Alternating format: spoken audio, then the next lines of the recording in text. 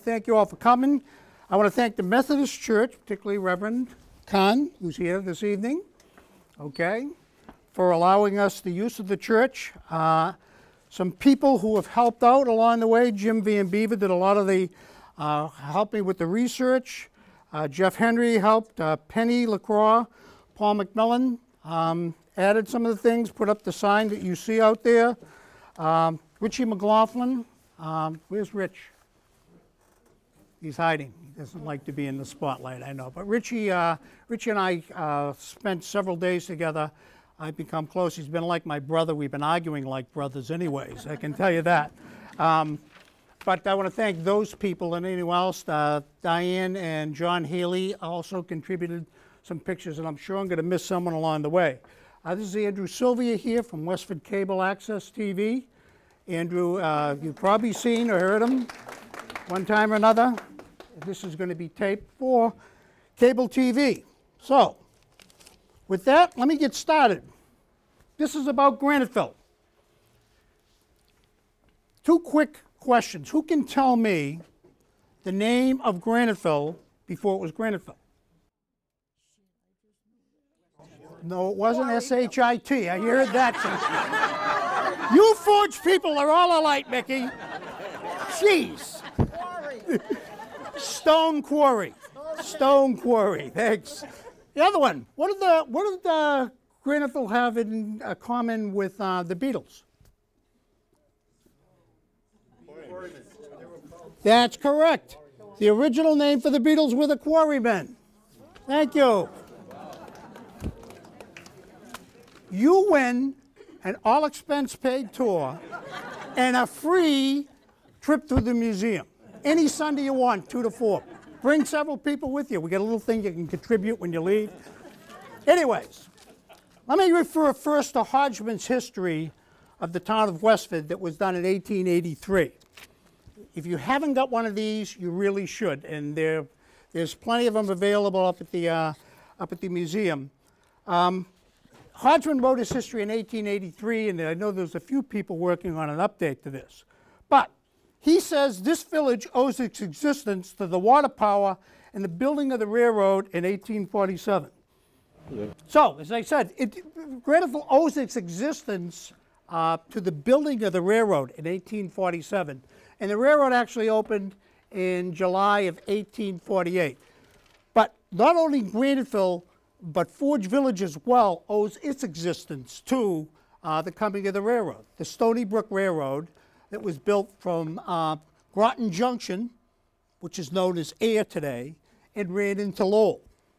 And with the coming of the railroad, um, these, both these areas became more appealing to the industrial people, uh, particularly those in the, um, in, in, the uh, field of, uh, of, of, of, materials, uh, cloth materials. So it grew up, Graniteville grew up along the banks of the Stony Brook River, okay, with the sloping hills to the north. You can see the sloping hills. You've probably seen this print at one time or another. These are the quarries, set the quarries. This is the mill pond. And you can see the dense area over here was where the village was settled. I'm going to show a few maps as we go along. I need, I need to stay on this slide the whole night. Okay. Can you move it? There we go. All right, this is a Graniteville Street Directory in 1903, which goes to show um, how the village grew. Here's an interesting one. West Street, Cowdrey Hill, to Groton Road at the house of E.J. Wood, that was Cowdrey Hill Road. We know Cowdrey Hill does not go all the way through today. But it's interesting how they, they um, laid these houses out. From Greg's Corner, H.D. Wright's house, you go past H.D. Wright House to the Groton Road, and that was North Street, the same as is today, Greg's Corner. By the depot, Catholic Church to Reed's Brook. That was Main Street, now known as North Main Street. And uh, as I said, Broadway Street, River Street, and these were, most of the, uh, the town meeting of 1903 was the one that named many of the roads in town. So this is the street directory from there. Okay, Dave. Okay, when I talk about the early history, talk about three distinct periods. The contact period, which run from 1500 to 1620, the colonial period from 1620 to 1775, usually considered the outset of the American Revolution. Uh, the federal and the pre-industrial period runs from about 1775 to 1854. And let me tell you, when you look at Graniteville during that period of time, there's not an awful lot going on. Um, the speaking the Algonquin Indians, speaking Wamesit, Pawtucket, and Nashoba tribes, actually inhabited the area between the Merrimack rivers and the Concord rivers. There's evidence of scattered uh, hunting activity throughout there. Um, you can, they used the Stony Brook for fishing. The, um, there, there was a fish weir in Forge Village that was bought. Uh, was that was where Andrew the Indian um, actually turned over the land in Forge Village to the Prescotts back in around 1680. So mainly it was used for transportation, the Stony Brook at the time. But it was basically a hinterland. Westford begins to grow when a road is built from Groton to Chelmsford. And it goes through Forge Village and up, actually down through Parker Village. Okay, and with an extension it goes off into West Chelmsford. And so you began to see growth along that area, but not much is going on in the Graniteville area. During the federal and pre-industrial period, 1620 1775, if you look on the inside of the cover of this booklet, this is a book, Hodgman's, and it's a 1730 map.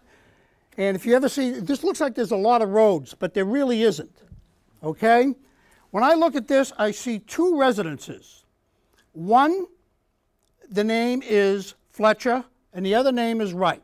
Two very, very common names in Westford. The uh, Fletcher land was on North Street, and the Wright uh, property was what we know as the Lions House, which is right at the corner uh, by, well, and I'm going to show you a picture of that later on. So there's not an awful lot that goes on here in terms of, uh, of, of growth. It's, it's when the railroad comes through. Once again, when the railroad comes through here, and this is the railroad, the things really start picking up. Okay? This is Snake Meadow Hill. This is where much of the quarrying activity is going to go on. And in this map, you can see it says Stone Quarry right there. It was a small quarry, okay? Number 10, schoolhouse number 10, built in 1851. Okay? 1851, there were 10 different school districts within uh, the town time. These are elementary schools, uh, I should say elementary schools grades, that they would take grades 1 through 8. All right? Jeff, what, what's the hash mark line going sort of east-west across the lower heart, part of uh, Rattlesnake Hill there? A little further up, uh, the lower part of Rattlesnake Hill.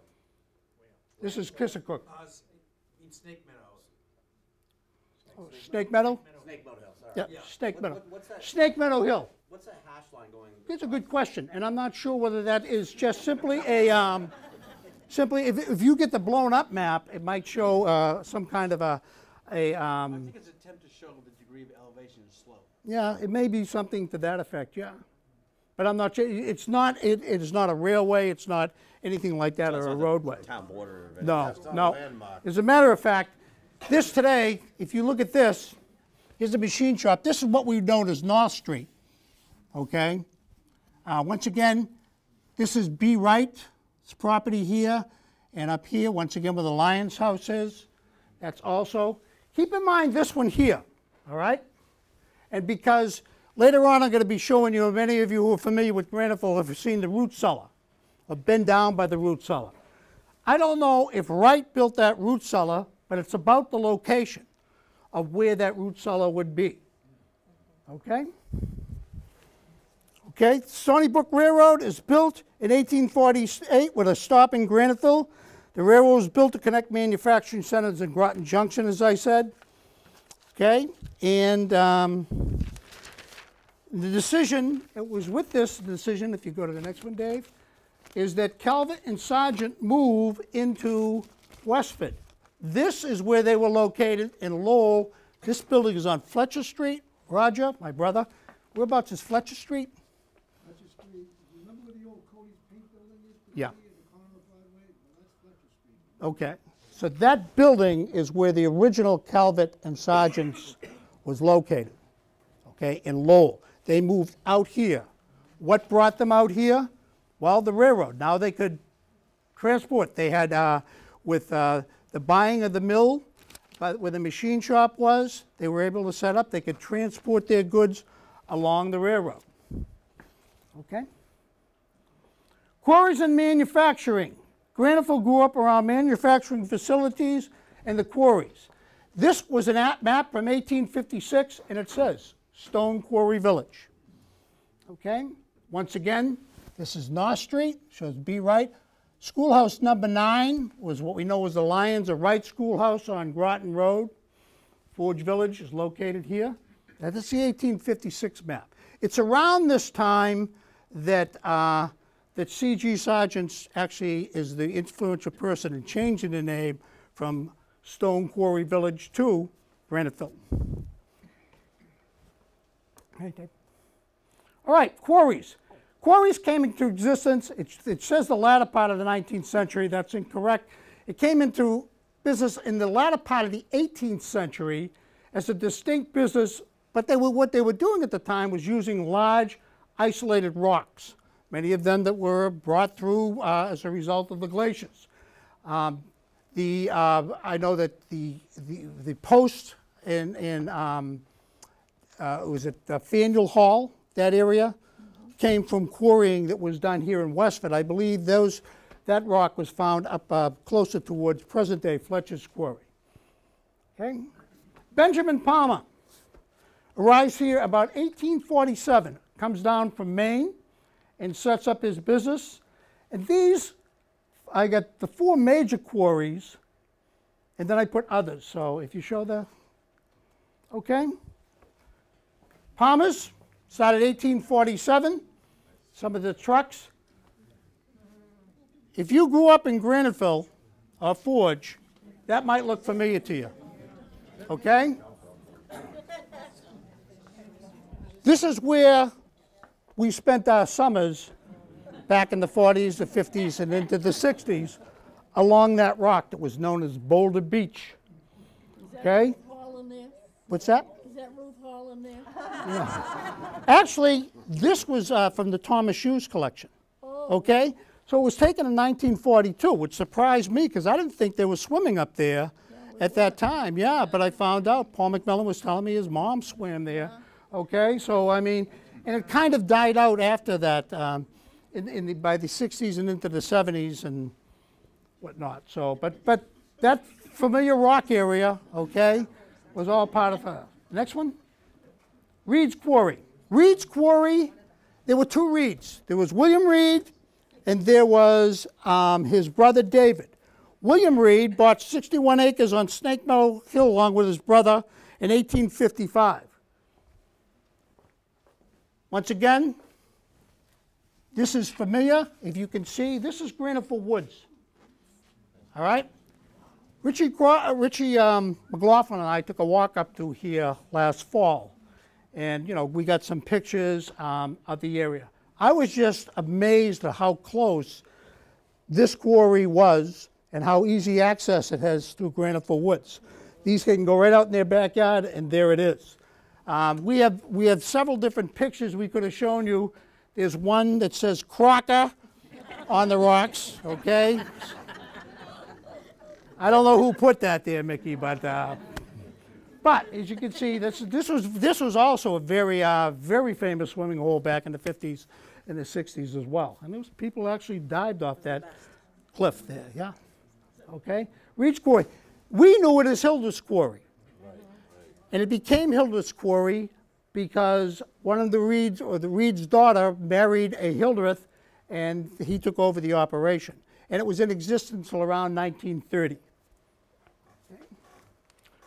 Um, that's, this is Willard Reed's quarry. His brother David moved and had a, another operation on um, Cowdrey, uh, closer to Cowdrey Hill. I came in through the, uh, if you come in through the Route 40 side where Cowdrey Hill is located, I took a hike um, with Frank Carcota. Some of you may know Frank. He's lived in that area and goes up through the woods all the time. But he said it'd take us about an hour, and it was a three-hour tour. And I, and I'll tell you, I felt that we were done. But but he showed me the many many different quarries up there, and particularly one that probably was uh, David Reed's quarry, because there's a large large uh, ledge there as well. Yeah. Okay. Yep. Tell you there were two brothers, Almond Vaughn, and that was where Ward Haley, is that how? Yes, there was, uh, there- as I said, if you hit the next one, okay, there were other quarries, okay? There were other quarries. There was, uh, uh, from, uh, one of the uh, journals showed Couture had a quarry on Cowdrey Hill Road. The Bonds, okay? There was also, I don't know if, how, what, you, you can straighten me out as this, Reverend, but there was a ministry lot up there, about 20 acres okay? And apparently, the, whatever they got from that went to the church at the time. And that was in existence. I read that in Hodgman's, all Hodgman's history as well. Okay, Acer and Almond Bond, yes. They had two brothers that had it. Couture quarried there in 1906 as well. And the last one is the Hammett Wright Quarry. How would you get to the Hammett Wright Quarry? The access was off of North Street. If you went up the hill um, as you were headed towards the highway garage today, okay, and you got to the highway garage and walked to the back of that, you'd see a ledge. And that was Hammett Wright's quarry, stone quarry. This is from 1899. Right? That's the one, if you go to the museum and look uh, at the display, there are a lot of names. Uh, Norman Samad, for example. If you were from Granite, we all, we all knew Norman. Uh, Eddie Beebe, 1932. His name is up there. Chippy Nider. I mean, these are all stars from Graniteville over the years. So, okay. Hammett Wright. Hammett Wright. Uh, Hammett Wright actually owned the house. If you, the entrance going up towards the uh, highway garage, where the Hillmans just sold that house, that was Hammett Wright's house. Okay, but he was born in the house down the street across from where Kittner's um, nursery is. Okay, the house directly across from that was where Hammett Wright was born. And if you're looking for Hammett Wright today, David, there he is. Okay, and they'll found next one in the Wright Cemetery. Okay, now I don't know if you're not familiar.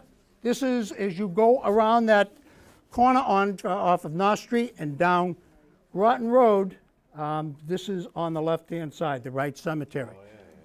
Okay, the Wright Cemetery, and uh, mostly all Wrights. There's there is uh, there are a few other people.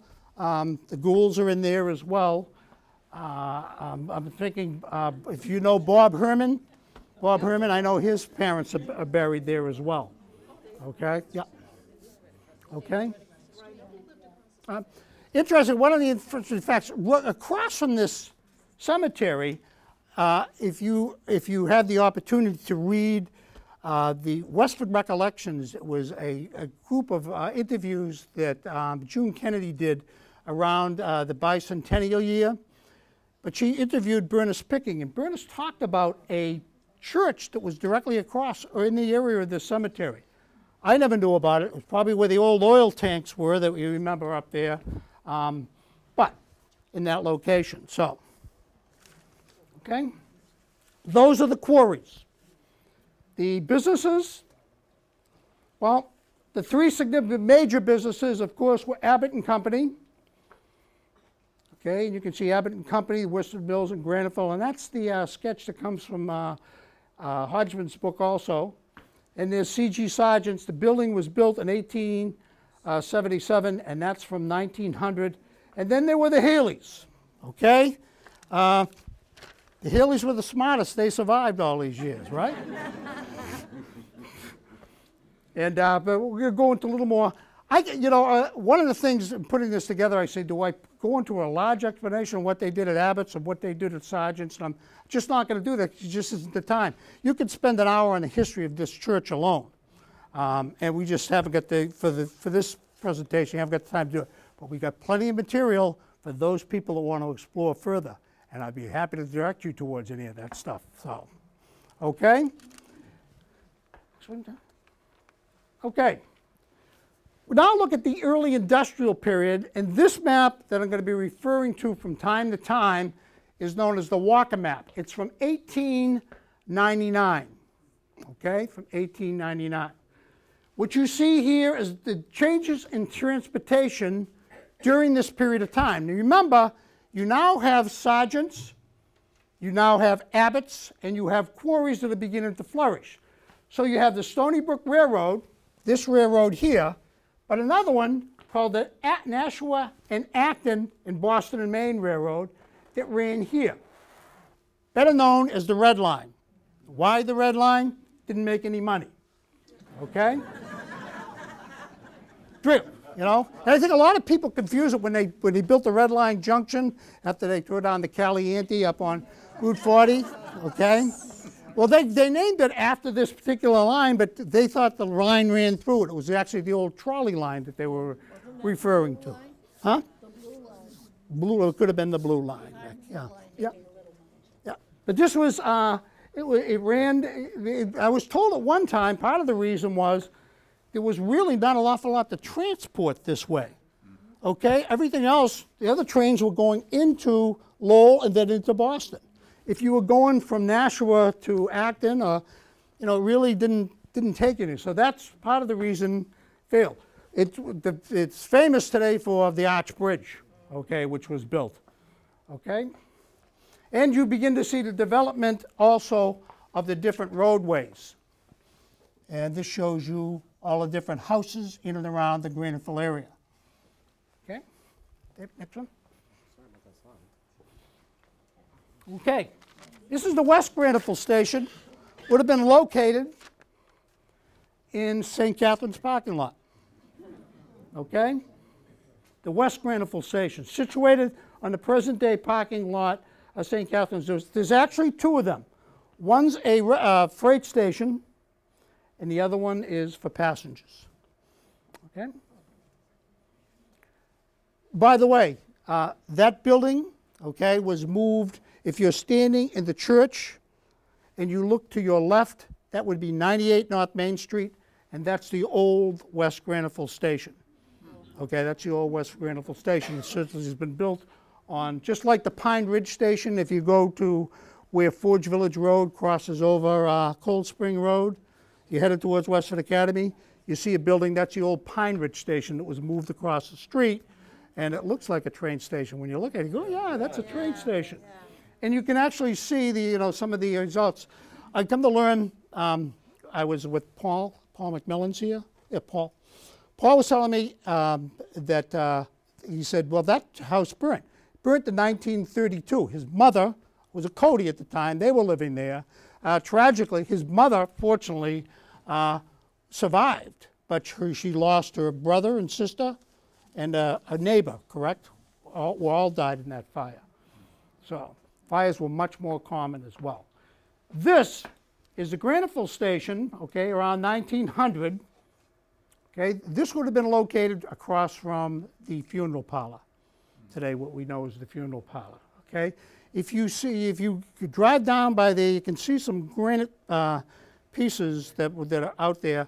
I thought they were part of the foundation, but I was told by uh, Roddy Palmer, who's a descendant of the Palmers, that they, actually those were part used to, um, I guess, as a hoist for loading granite on to uh, the uh, trains they went through. Okay, let's talk a little bit about Charles Sargent. Came to Graniteville from Lowell in 1854 to begin his business venture with his partner Francis Calvert. Together they created Sargent and Calvert's. The business manufactured machinery for wood and cotton mills, woolen and cotton mills, a new industrial industry, and they were growing up. That's what Lowell grew up around, Lawrence grew up around, uh, Manchester, New Hampshire uh, the textile mills. Sargent would go on to buy Calvert share in the business, making Sargent and Calvert a Sargent family business. And later, his involvement with his two sons in the business, they renamed it C.G. Sargent and Sons. Over the years, the names changed, uh, but the Sargent uh, connection to the town remained very strong. This is Charles Sargent. C.G. Sargent also was a, a- contributed, I think, $2,000 originally to the founding of this church. Okay, next one. Became well known in the Westford due to his active involvement in the Westford community. According to the 1875 tax listings, he was the wealthiest man in Westford, which came with an influence he used to improve the town in many ways. He developed Graniteville as a residential village when he bought land around his mills for the uh, worker housing in the style of many of the industrial villages. The same sort of thing was done in Forge Village. Abbott invested money on, we'll say, Bradford Pond Street to build um, houses. My house on Pershing Street was built by Abbott's. As previously mentioned, his other activities when in town included Board of Trustees for Westford Academy, his membership and influence in the community and the Methodist Church in Graniteville. Okay. Samuel Fletcher. Samuel Fletcher built this house. Actually, uh, if you are familiar with uh, uh, on Hillside Avenue, they moved the house that um, Lois Jewett lived in, those, and um, that was originally on the site. This is the present day funeral parlor. Okay? Samuel Fletcher, the owner of the quarry, lived here. This was taken around 1900. This was 1943, I believe, is when they had the auction. And you can see it's much more run down at the time. And there's a couple of other pictures we had showing the auctioneer actually auctioning off the contents. It was built, it was uh, bought this time by Jimmy Healy, I believe. John? Where's John? Arthur would have bought it at this time in 43 or 46. Am I correct? Yes. Yeah, okay. Yeah. Okay. And you can see the cars. Okay, the next one. Um, William Reed. As you get on, this is 67 North Main Street. William Reed, who was uh, also owned the smaller house down at the bottom of the hill. Um, but this house uh, was, he was the owner of the quarries. It later went to Harrington. Uh, uh, uh, Harrington was one of the major builders in Westford, in the Graniteville area. Okay. Okay, and at least nine company houses were built, mainly duplexes at the time. And this is a scene of the village, and you can see this is from around 1900 as well, and you can see the area really starting to grow around the mill pond. Next one, Dave. Uh, you know, I, uh, probably this was taken, um, I would say, from probably the upstairs of your house, Chet, right? I would say, yeah. Okay. Okay. Yeah. All right. Now we get into the industrial period. Uh, specifically, the industrial period, 1877 through 1910, is when things begin to take off. Not just here, but in the United States um, as a whole. Uh, the Industrial Revolution in American history is usually seen from 1870 to about 1910. And this is when we begin to see also new immigration.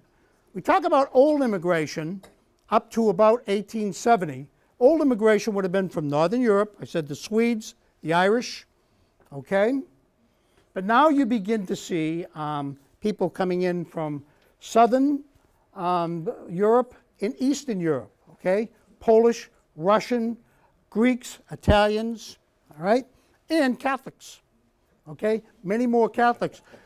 Well, they built a Methodist church, when they built the Methodist church here, they talked about which church they want. Well, they talked about Baptists and Congregationalists, but they decided on a Methodist church uh, when, they, when they did build it, but they never talked about a Catholic church at the time. There just weren't enough Catholics. So, next one, Dave. Okay. Um, getting ahead of myself here.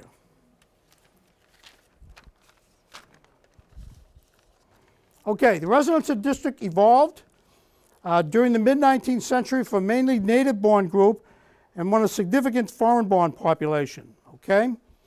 Catholic residents became significant number and they began to uh, uh, visit pastors from St. Patrick's Church, Americanization, and um, education classes were a priority for the immigrants. Okay? And I'm jumping ahead here. Excuse me, I got to find my location.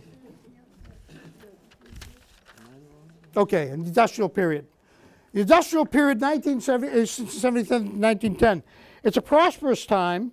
Abbott purchases the Horse Nail Company. Okay? What is this? Today, this would be the Abbott Mills. okay, the Abbott Mills, the Abbott Apartments that we know in Forge Village. This was, this picture was probably taken from the parking lot across from, um, we know as the village store. But that was, that was the Horse Nail Company. When the railroad came through in 1848, you began, they, they set up what was known as the uh, Westford um, Manufacturing Company in Forge Village. That was in existence through about 1865, and then the Horse Nail Company, which was in existence till 1877. When they went out of business, Abbott saw an opportunity, said, we're going to move our operation, some of our operation, and moved into this building, and eventually tore this down and built the uh, structure that you see there today. Okay? Stony Brook Railway. All right? Um, if you wanted a pizza today, that's where you'd get it. Okay? But this was, uh, this was originally Splain Store in Forge Village. We just put this up to show the, uh, the trolley ran behind there and down um, along. This would be in front of, you know, Chet, this would be in front of your house, Chet Cook. Okay, down. And down, uh, actually down Beacon Street, uh, across Nutting Road. That road you see going into the old highway garage was uh, actually the line for the, um, for the trolley. And that was there till 1921. Okay? The population. You begin to see the population begins to change. More, as I said, more Europeans coming in. Um, by 1910, report shows different trend. Only 15 of the 50 newlyweds that year were born in the country, much less, okay? They came from in Germany, Italy, England, and Australia. Above, Wasso Belita, Alexander Sokovich, okay? And I can't say, I'm not even going to try to pronounce the rest. That's only because I can't read them. uh, where's Patty Buscello? Patty, you here? I have you read them, Patty. You're all in the cemetery. I- Yeah, with the, ro- wha- yeah, which says the Russian cemetery, the Russian Polish cemetery on Patton Road. Why a specific cemetery? Well, because that large population. And they, there's some kind of a, a fellowship or something like that. They still maintain it, don't they? Yeah. They still maintain that area, yeah. Okay. Uh, Geoff, there's, this is a good opportunity for me because I still have three Grodno ledgers in my car, if anyone would like them. Yeah. I've been meaning to pick those up. No, I gave them one and they Yeah. wanted the one. Yeah. And, and I kept one, but I do have three Yeah. It's, it's interesting, the Grodno store, which I'm going to show you a picture of a little later, but the Grodno store was the entrance going into Beacon Street, you know, and there were two. That was Grodno two. Grodno one was um, on Pond Street, okay, and that building still exists today. There- Right at the beginning of Beacon Street, there was a pharmacy at one time. Is that correct? In the beginning of Beacon Street, Yeah. That was a grotto. And, and I heard this, like in 1900 or so, there was a murder in the basement or something? I think it was around 1930, and I heard that. I don't have that story, but there is, uh, I thought around 1930, and I'll tell you who helped me with that was Willis Buckingham. I don't know if you know Willis. Willis, Willis, we drove around with Willis last year, and he pointed out some things and mentioned that. So, okay. Catholics residents became numerous, so they built the church in 1892. I got two pictures because this was probably an early picture from around 1900. This is from a postcard. And look at the difference. Okay? So there's a major difference you can also see to the left here, um, which would have been the train station. Okay, train station. So this is this is the original St. Catherine's Church, the original built in 1892, uh, the, which would have been located in the parking lot across from present-day St. Catherine's. Present-day St. Catherine's was constructed in 1934 and expanded on later on. Okay. Commercial establishments. Okay, John A. Haley, um, which would have been great, great, great grandfather John. Uh, great grandfather. Okay, was born in Canada 1855. Moved to Granville around 1875. He worked for the Abbott Worsted Company In 1885, he started coal, wood, and livery stable. Later in 1905, he established J.A. Haley and Sons. I wouldn't call it funeral home, but he went into the funeral business. Okay? Correct me if I'm wrong on these, John, okay? Later, the coal and coke company that became the current J.A. Haley Oil and Fuel Company. He also operated a company that performed excavation, landscaping, and related tax tests. He dug trenches for the town water system, excavated uh, foundations and holes and landscape yards for company-owned apartments. Okay? This is him on the uh, fire apparatus in the early part of the 1900s because the original fire station was located in that barn as well. Okay, next one. All right. They also did work. Uh, this is uh, carrying some of the washers uh, that would have been CG Sargents. Okay, and as you can see at the top here, it says livery stable. All right, next one. And there's John, his mother and father, standing in front of the bench they contributed for the 120th anniversary of J.A. Haley's. J. Haley and Sons Heating Oils as it looks today. Uh, it also has a history. I saw a few of my old friends, Dennis Mulligan, Jimmy Van Beaver. We spent some time in that basement there, right? it was known as the hole. And that's where we hung out until Johnny's father had had enough of us and said, get out. Okay. Okay, at uh, 1889, Bemis and Wright on North Main Street. This store here, okay, once again located at that same location that the, uh, the monument is today, um, uh, where the original Abbott Worsted Company was. There were other stores. Uh, the AG started was on Second Street, and this would be the house directly across from the Sargent School. Uh, it was uh, it was AG started store. Uh, there were also three grocers, one fruit and cheese store, a miller and a blacksmith, a provision store, several peddlers and um, dressmakers during this period of time also. The next one. Okay. Now we get into the modern period. Modern period. The automobile replaces the trolley, which ceases operation. Tracks were removed from Main Street and Beacon Street in 1930. Now, the story behind this, very briefly, John, uh, on June 17th, Emma May Wright, once again a Wright, who lived at 40 North Street, was a passenger in a 1920 Model T driven by a nurse companion, Mrs. Emma Weeks. Coming easterly on Broadway, they attempted to make a right-hand turn, the bridge. She failed to straighten it out, which resulted in an apparent U-turn almost over the bridge. Family tradition says they were trapped in the vehicle for a considerable period while they watched two Boston Maine fast freights beneath them. It was eventually, the car was eventually hauled across River Street to Furbisher's Garage, which we knew was Normie Nesmith's and, okay, Bob Herman's later on. I'll show you a picture of that later. But you received a bill for repairs, 4720, and a bill from Boston Maine for 7156 to repair the fence. Okay. CG Sargent's begins to expand its operations. Uh, we're only going to negative at this, but this is actually bread, okay? So they're into uh, making bread at the same time, get into food other than just the, uh, the dryers they were making for textiles at the time, okay? Many small family businesses operated in the village during this early part of the 20th century, okay? First National Store, you can't read it as well, but it says the manager was John Tandis and the clerk was Jackie Cornell, who was our town council for years. Walter and Fletcher, uh, Jean's Variety Store, Furbisher's Motor Sales, Nick Sudak, Haley's Market. Any idea? I didn't. That was one to me, John, that I hadn't seen before. Okay.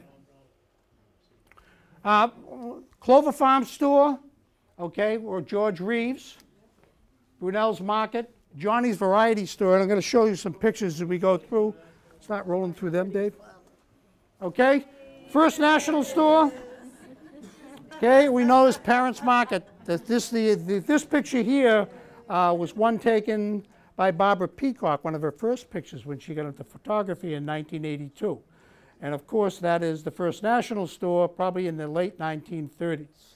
Same buildings, same location, not the same buildings. Idlehour Country Club.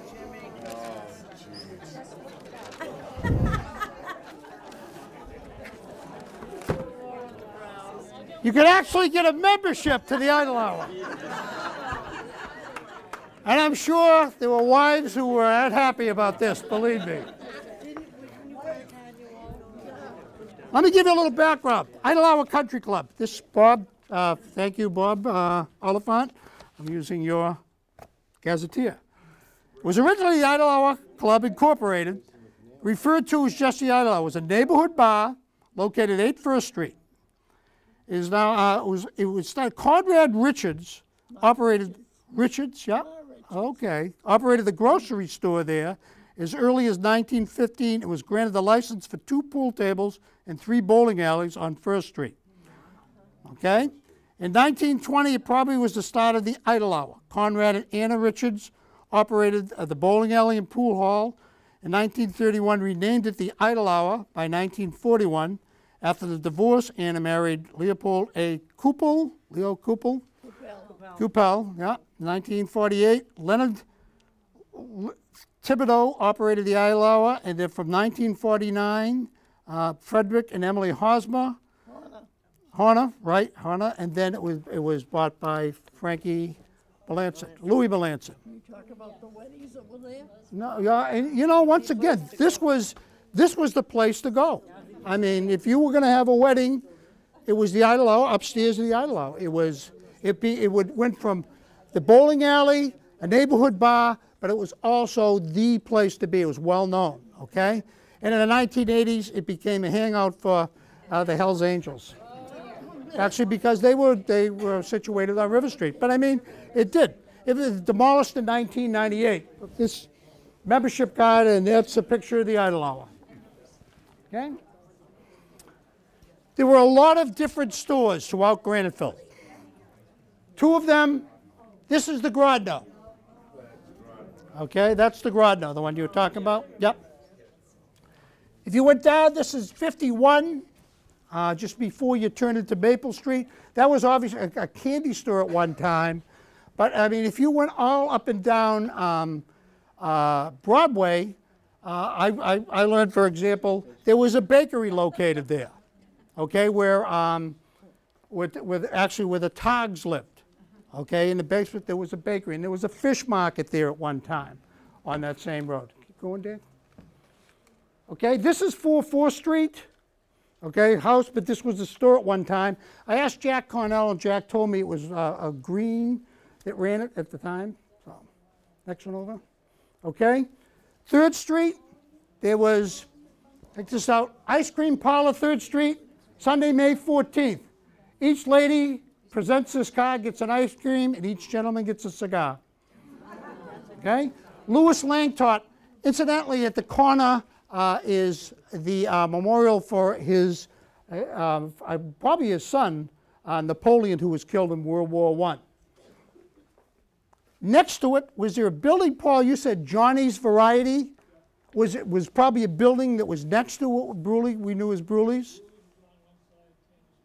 Okay. So all in the same building, all right, all in the same building.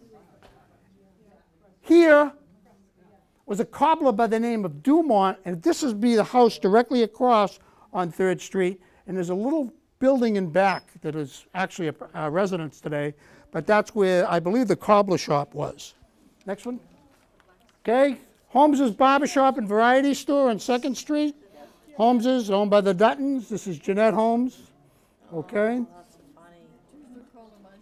Okay, next one.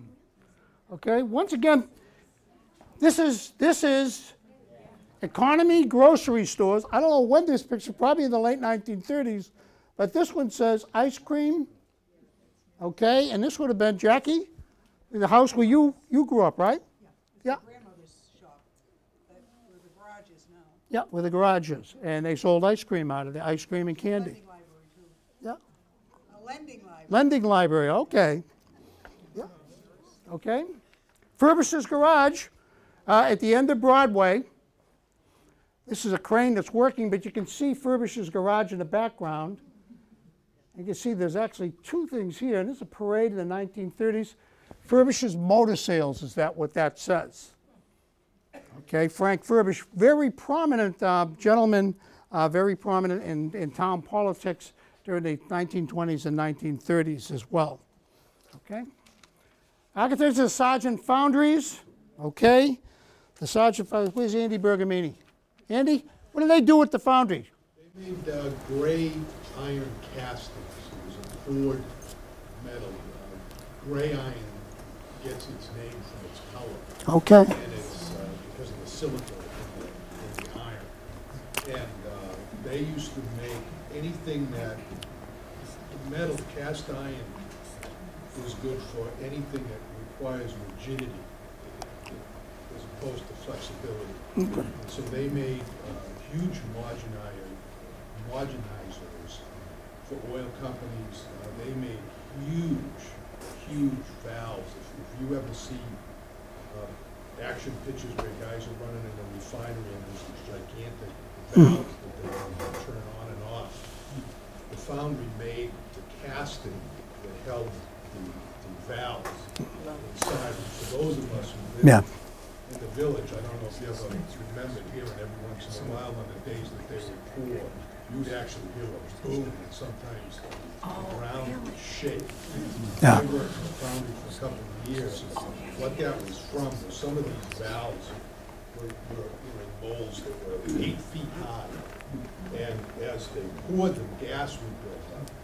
If they didn't vent them properly and light those vents as the gas came out, it would build up and it would just explode. Yeah. And it would actually shake the entire building. What I remember about it is being in an event in the evening where your father's band played, and he'd be all spiffed up in his white shirt, but if you saw him at quarter of four, he was just covered with soot, covered for the bill. And, and there was just so many. I, I mean, that, ah, that picture sticks out in my, my mind. Yeah. From a, a, a material that they used to pack Yeah, the mold, it was just black. yeah. There was nothing you could do about it. Geoff, who owns it now? They had some very I'm not sure who owns it now. It's been for sale for a long time, and yeah. Yeah, this, this place had, had some major fires, like the one in the sixties or seventies, or? I think it- around 1965, I believe there was a fire there. Yeah. Uh, the storehouse is on River Street. Okay, there's a landscaping firm there, but in the 1940s, these were built. This is where Sargents stored their uh, their wool products. Okay, they originally built them in, in the 1870s. They tore down, and these were built. Okay, next one. 1914, actually 19, voted to build a new fire station, and that is at Cross Street, right here. It is the house directly beside the American Legion. And this one, I think 1946, Mike? 48? Okay, 48 was when that was built and when the Rogers Station opened uh, in 2005, it replaced that. And Mike's son is in the process of um, making it a residence. So, yeah, it's going to be a residence. And they're keeping the outside to look just like that. And I'm told they're going to open those doors. There's going to be a big party. Mike, yeah? I was told. I don't. Nah. The Sargent School, okay? Sargent School. I don't see myself in that picture. This is a four-room schoolhouse, like schoolhouse number 10, where a Studex store was located. That uh, was, was built, it was enlarged, okay, to be eight rooms. And interesting, Johnny Healy was pointing this out to me, for those of us who went there. On this side was the entrance to the boys' basement. On that side was the entrance to the girls' basement. They're not located here, so they must have all gone in through the front door at the time. Um, and I could, you know, I could read some of the names here. Okay, this is from the uh, graduating class of 1936, and there was grades one through eight at the time, and graduation from the eighth grade was a big deal. 1936. Some of the names you'd recognize from that as well. Okay. All right. Clubhouses, as they say, Haley's Hall. Uh, my understanding it was uh, J.A. Haley who uh, owned this um, for some time in the early part of the 20th century. So it was called Haley's Hall. It eventually became the American Legion. 92 North Main Street, you've been by this little house. It was the, um, the Graniteville Social Club, actually, and they held language classes in there for the Russian immigrants. Okay, 250 houses are built throughout Abbott, Sargent, Graniteville, Forge Village, and Brookside. P. Henry Harrington was one of the busiest contractors. The residents in the district were wired for electricity beginning in 1912. And this next slide is the plan, the Lowell Electric Light Corporation. And interesting, they got the streets mixed up. They got Third Street, here they got Post Office Street, and this is First Street, and it should be actually reversed. Uh, But you can see talking, and they did have electricity going through because you had the trolleys that were right up the street. So it just, I'm sure it ran the electric light there. So they, Graniteville's had electric lights along with Forge Village for about 100 years. Okay? Okay, Abbott Worsted moved their, uh, their business uh, in 1956. They were out of business. Uh, C.G. Sargent's achieved a, a global operation um, and was doing very well in the 40s and the 50s. And by the 19, um, by 1990, they were out of business as well. But they moved their operation to 31 Bridge Street. 12 North, North Main Street, they housed many different things. Um, uh, they housed fiber materials in 1975, uh, Westford Anodizing, um, housing and urban development offices were located there at one time in the early 1980s. And of course, we know uh, 12 North Main Street, uh, trying to get bring people in. They have a uh, task force here in town that's working very diligently on doing that. Next slide, Dave. Okay, new construction is limited in this area due to how congested the area is. Uh, both churches have had um, renovations. World War II monuments have been set up. Uh, and about 15, almost 20 years ago, a couple of um, uh, we'll call citizens groups started uh, getting very active. Um, Graniteville Pride uh, and their fearless leaders over here. I don't know what she's doing here. Diane, that's Diane Haley. But she was the organizer, the driving force behind, and, and uh, did a lot of, uh, a lot of the improvements. We're all located there. It's my sister-in-law. That's Dot Hall. Is Ruth Hall. Okay. Is Jimmy Van Beaver. It's Paul McMillan. Okay. All okay. So and, and, and they stayed active within the year. They had the Mill Pond restoration. Um, that uh, the uh, actually the uh, group from the, with the academy come out and did some work on that as well. Okay. All right, some interesting sites in Graniteville. We talk about Graniteville, the Arch Bridge. The Arch, this the Arch Bridge was part of the Nashua and Acton Railroad. This uh, particular arch still stands today. Um, that the, the stone came from Reed's Quarry to build that. Next one. Okay, the ball fields. You know, I can go into an entire history of this. There's a lot of it. These were a couple of the original baseball teams. Okay, that's Bobby Wall, and that's Bobby Wall, the founder of the Westford Small Fry League. All right, this was the original field here. And this display, if you go to the museum, is the display for Noella LeDuc, whose daughter I just talked to yesterday, Betsy Alverson, has been very uh, much interested in, in the history of this area. She lives in New Jersey. But that's, she was the only major leaguer ever to come out of Westford and play in the majors. She played in the Women's Baseball League, a league of our own, okay, and was quite a star. Noella LeDuc. Geoff, what's the name of that ball field there? Uh, won. No, come on. Come on. That's the one. Well, the, that's the one that was named after me. And people say, well, why would they name a field after you? There are so many kids that play Little League Baseball, and only a few of them are really stars. Most of them aren't very good, and I represent all of those kids.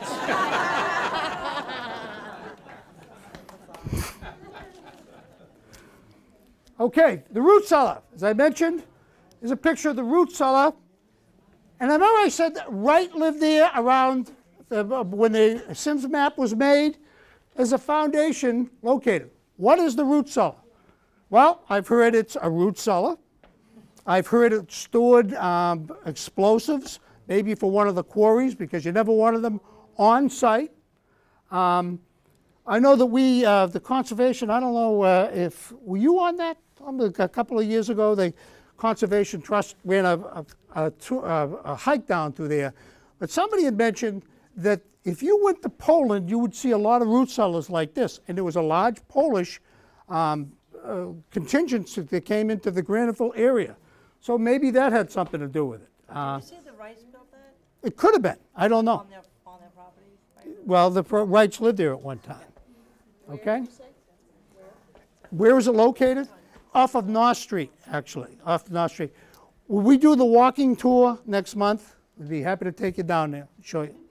Uh, there's beer cans, I don't think they're from the, that period of time.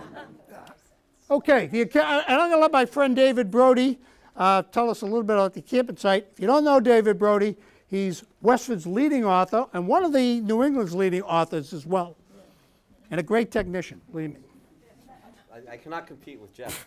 So we think this site might be related to the Westford Knight. You know, in the library, there's a stone called the boat stone. It's on the, the ground floor there.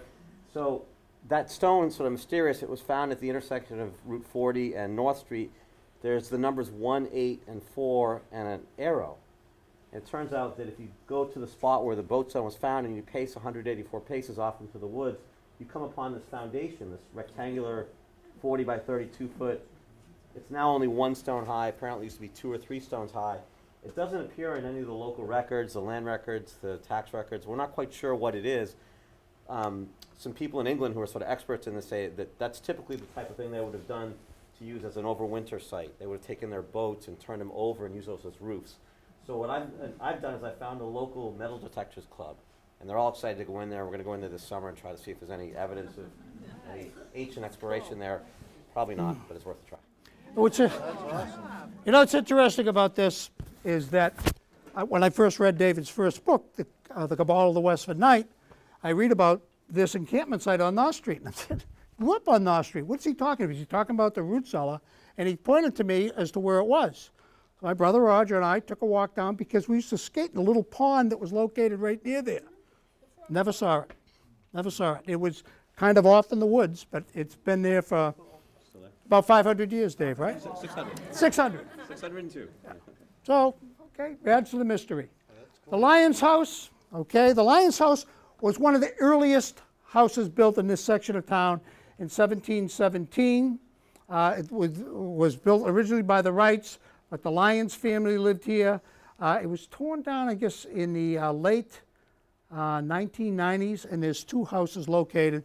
If you go around what we call Wyman's Corner, where it's, that sign says, Welcome to Graniteville, it would have been right there down in the uh, little dirt road that goes in, which is Old Groton Road. So, but they tore it down and built two houses there. No way of preserving it. So, Gould's Farm. Okay, some of you remember Gould's Farm. I, I, I, what is the name today? Today? It's the Maker Farm today? Was it? Meadowbrook Farm? See? It has a lot of different names. I, that's why I call it the Gould Picking Farm. Yeah. Yeah, Goulds and Pickings, okay? I, I, I saw the original deed. Uh, Jack Cornell was Vertus Pickings' uh, lawyer when she passed away. Um, and he, oh, she had, my God, she had, she never threw anything away, quite frankly. Uh, there were, they, uh, I don't want to, go into it, but she, there was a lot of stuff that was taken. But some of the things, the important records were kept as well, the Gould Farm. So that was a large part here, the Wrights and the Goulds together in that area. I spent a lot of time down there as a kid also. Go ahead, next one. Uh, the Wright Alliance Schoolhouse, as you go up Groton Road, the history of this, it, the, um, uh, this also became the, the North Graniteville Social Club met here. Uh, have I got that right, uh, Bob? North, North, North Graniteville Social Club, just like they had one um, in uh, the old schoolhouse down in Parker Village. And they, they, if you read Bob's uh, weekly thing in the uh, Westford Wardsman, he makes reference to this an awful lot of times. North Westford, correct. Okay? It became, it became, they moved it here, and it became a duplex. And my family lived on this side at one time, okay? It was right about here. For those that know that know me that my brother shot me, asked me to hold the target for him so he could shoot his arrow, and I lost my eye in that. So, right about that location. So, Dumb and Dumber. Yeah, you got that right. but that's where they got the movie from. How old been, Joe? I was four at the time. I had an excuse. Home from college. Benjamin Palmer House. This is this is at the uh, where Billy Rogers lives today. But we mentioned this house because Benjamin Palmer was quarry and kind of an interesting history. I had never heard it before, but I was told that this house was actually floated down from Maine. Okay? Now, I talked to Roddy Palmer about this, and he said, well, there's two stories. It came from Maine. The Palmers came here in 1630, moved to Maine, did some quarrying up there. One of them, Benjamin, decided, you know, saw a stone quarry decided this would be a good area, so moved down here. But he says he doubts that it came all the way from Maine. It may have come from Haverhill or Lawrence, but he says the house was moved here and it wasn't built here. So, okay? All right, 4th Street. I mentioned 4th Street. This picture, this is 4th Street, okay? And this picture was taken around 1900. The block on 4th Street, and Haley's about six months ago, my parents says, you know that block? He said, it came from Fort Devens. Really? So I did some research on it, and the records we have up at the museum say, yeah, that's exactly where it was came from. into four parts, as Yeah. I, I heard. Yeah, and brought down here, and they they they, they need, certainly needed residences for, and they you know World War One was the war, war to end all wars, so there was no need for barracks up there. So this was Fort Devens. It's now condominiums. Is that it, Dave? I think that's, that's it. Okay, that's it. So.